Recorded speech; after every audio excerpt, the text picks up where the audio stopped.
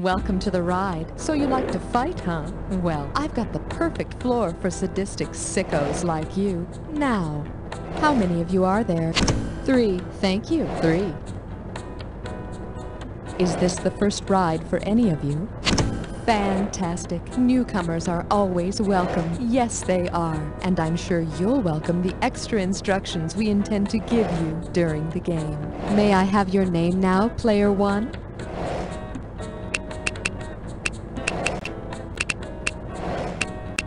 You very much. Player 2, you are next to type in your name. Good, thank you. Player 3, may I have your name, please?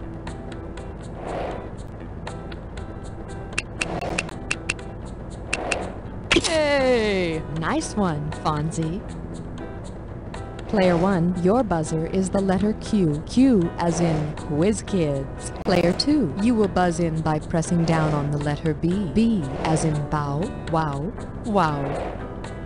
And last but not least, player 3, you will be using the letter P as in phallic. It's time for you to go off to war now, but don't worry, I'll wait for you under the apple tree.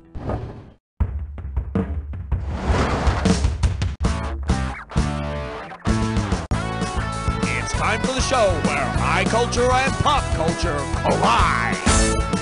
This episode of You Don't Know Jack the Ride is sponsored by Armageddon Bible and Gun Shop, arming God's soldiers for a new self righteous millennium. All this month, get a free prayer towel with every automatic weapon purchase of $5,000 or more.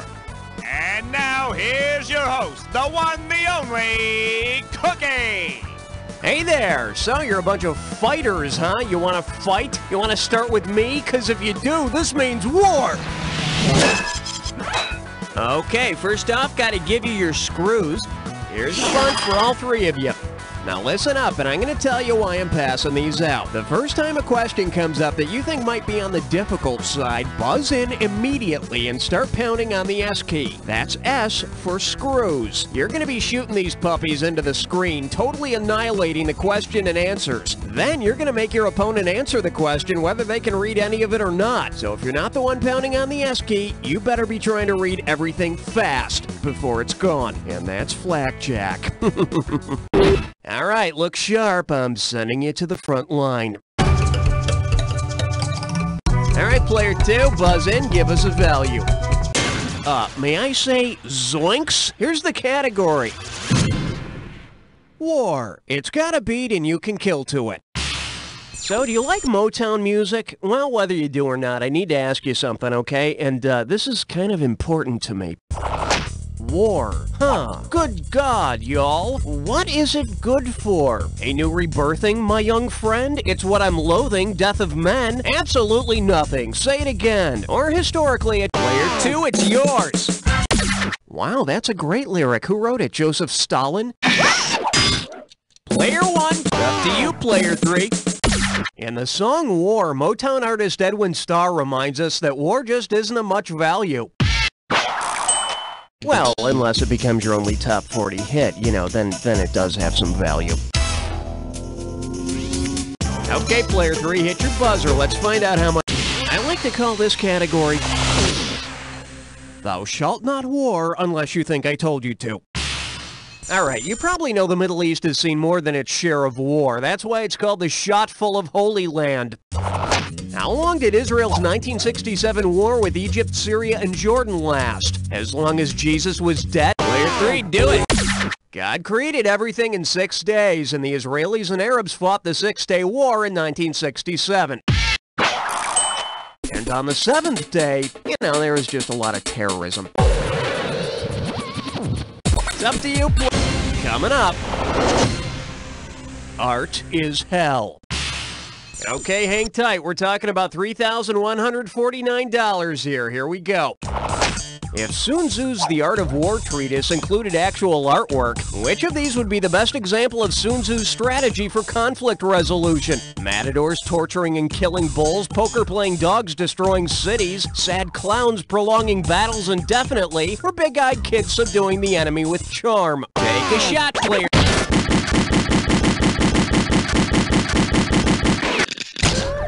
Player two, who do you want to screw? Hey, bonehead, you just screwed yourself there. What are you checking to see if the S key works? Well, it does. Four. Okay, let's see it. Supreme excellence in the art of war is subduing the enemy without fighting.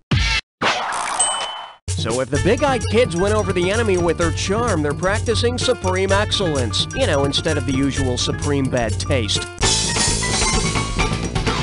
Okay, player two, grab a question out.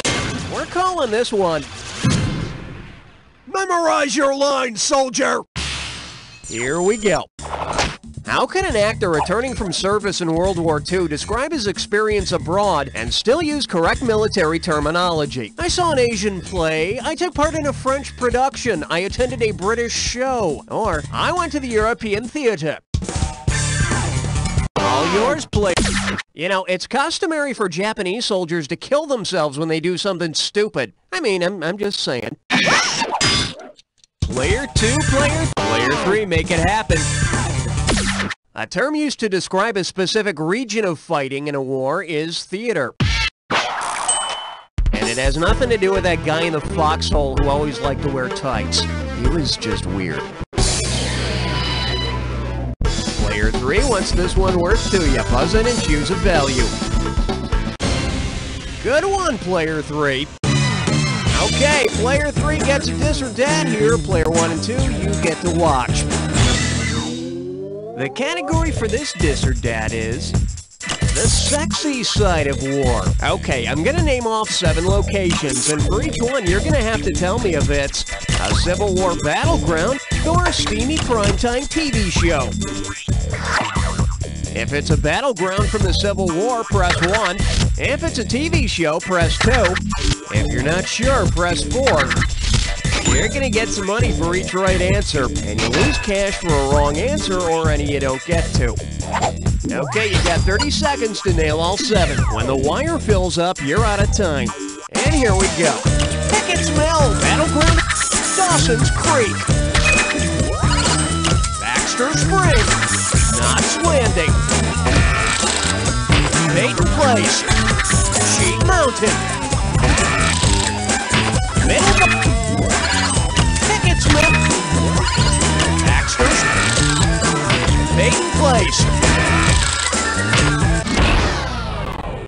missed four of them. Can't be proud of that. Player three is in front. Well, let's see if you can keep it up. Player one, buzz in and choose a value for us. Okay, you got something. Here's what we're looking at. Gettysburg 90210. Well, hold on to your musket balls. Here's another Civil War question for you. If you needed to mail something to a Gettysburg address, what would you need to write on the envelope? Player one. Oh, beautiful. Gettysburg is in Pennsylvania, but don't write to Lincoln. He's, um, dead. Okay, player one, pick a winner. Here's your category. Bang, bang! Now what? Okay, if you've ever seen Schoolhouse Rock, you know that the start of the American Revolution is known as the shot heard around the world. You might also know that if you've read uh, any book about American history. At any rate, where to? Grab it!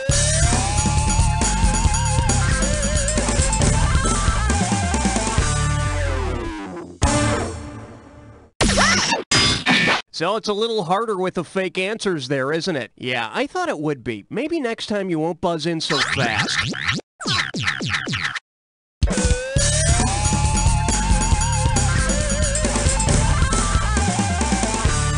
one, hit it. No, I don't think guys named Bobby are allowed to work on Wall Street. Up to you, player three. No, the White House press conference was about Bill Clinton's blowjob heard around the world. Here's the one you wanted. When Bobby Thomson hit his shot heard around the world, he secured a 1951 World Series berth for the New York Giants, which was nothing compared to the 89 series in which the Giants experienced the earthquake seen around the clock on CNN. Player 2, hit me! Okay, give it up for an anti-war demonstration. And right this way, please.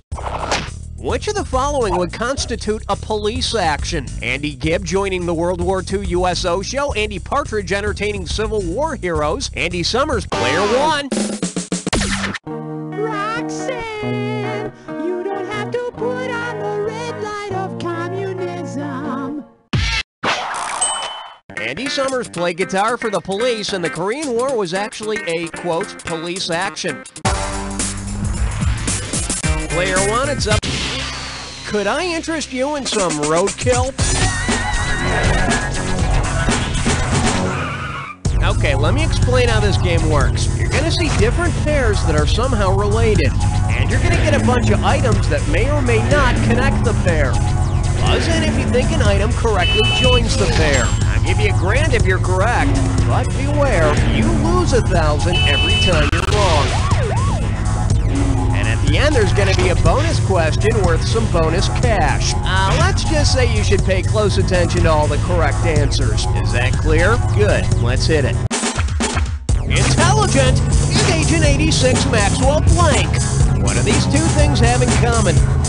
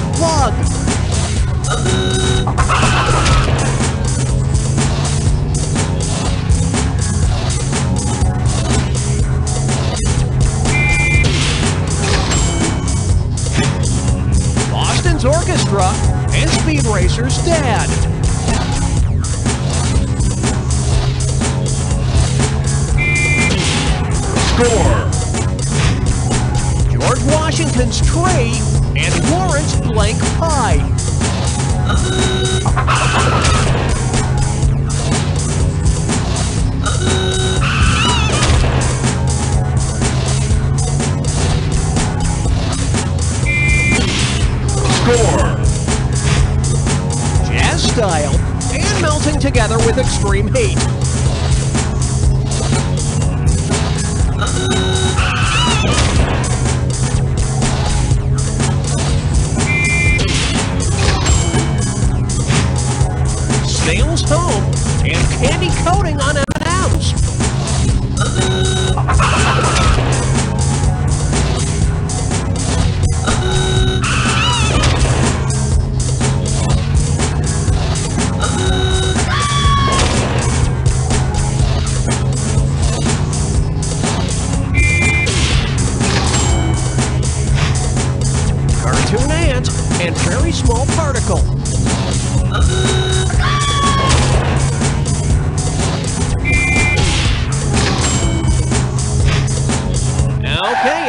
Time. What do all the correct answers have in common? Are they all brands of soda?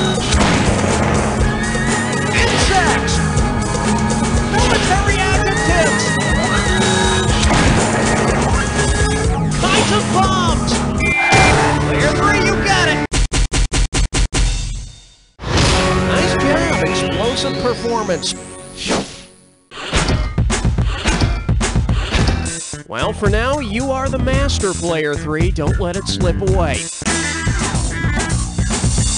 Player 3, poke your buzzer and give us a value. The category is... Pretty sneaky, Rear Admiral. Hey, remember Battleship? You sank my battleship! Woo, yeah, war is... it's just fun. Consider Player 2, it's yours! Oh, wouldn't you know it? You're wrong. Maybe next time you won't buzz in so damn fast.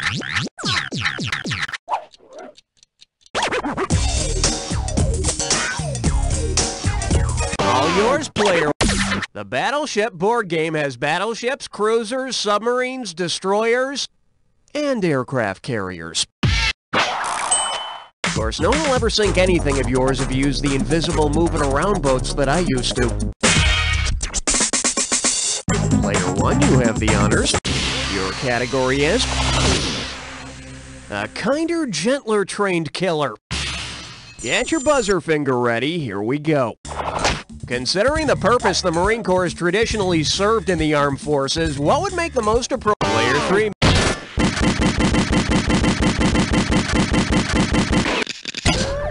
Player 3. Okay, player 2, you're screwed. Re-hop. Let's see it. Whoa! Oh, that was nice. Player, player 1. What are you doing? Keep... Player 3, don't take that. Give us an answer. Or hop. A yak? Well, they often blow chunks while on leave, but... Player, player one! The turtle is a stupid idea for a mascot. But since the Marine Corps is amphibious like the turtle, okay. So with a turtle mascot, the Marines would be saying to the world, Hello, we're slow, plotting, and stupid. Player one, hit your buzzer and select a value. Okay, give it up for... OU812. Okay, imagine World War III breaks out. Come on, it'll be fun.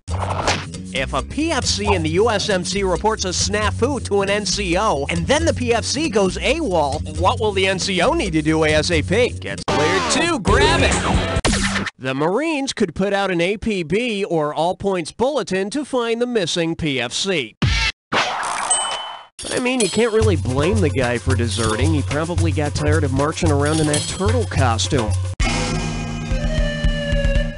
Okay, player two, what's this one gonna be worth?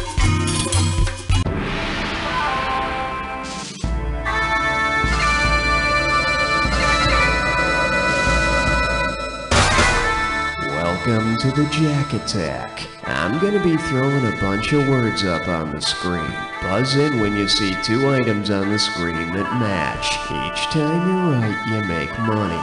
Each time you're wrong, you lose it. Now here's the thing. Not any two items that go together are necessarily a match. Remember the clue. It's gotta be a match that fits this clue.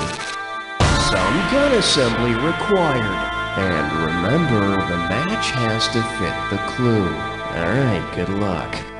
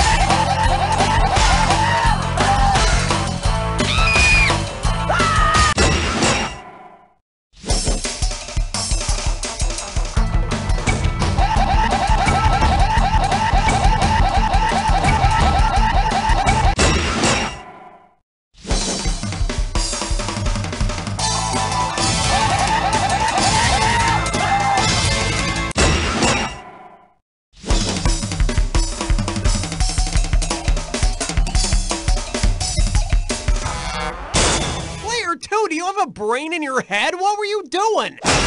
And what do you think you're laughing at, player one?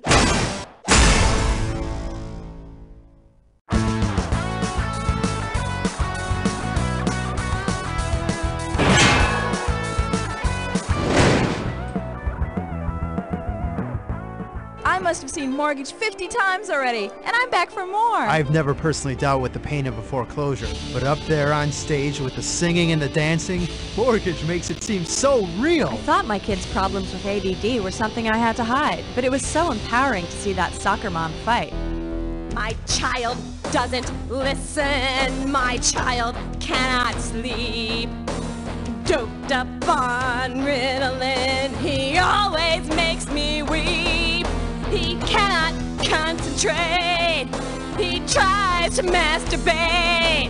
I'd pay 15% plus 50 points to see Mortgage again. I mean, just think about it. Pot smoking teens, philandering husbands, mothers addicted to painkillers. Eh, it's got everything. Mortgage is the true suburbia. It's not every day you see a couple from two different tax brackets. Suffering from chronic fatigue syndrome, find true love. I love the tax assessor. Drive the babysitter home. Will my hand begin to roam? Can't be more than sweet 16. Don't worry, we won't be seen. My appraisal? I give it a prime rate. I'm just glad they left the ending open for a second mortgage. Mortgage, the musical everyone's talking about. Playing at a community theater near you. Who has time to cook? We don't.